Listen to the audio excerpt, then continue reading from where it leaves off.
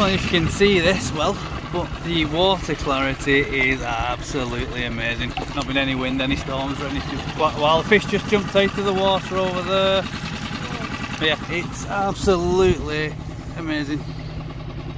Pretty good depth of water here. Not, not massively, but in comparison to where we are over there, it's not bad at all. Look at that. You can see straight to the bottom. Amazing. Seen any shoals of fish or anything at the moment, but we are uh, quite close in, aren't we?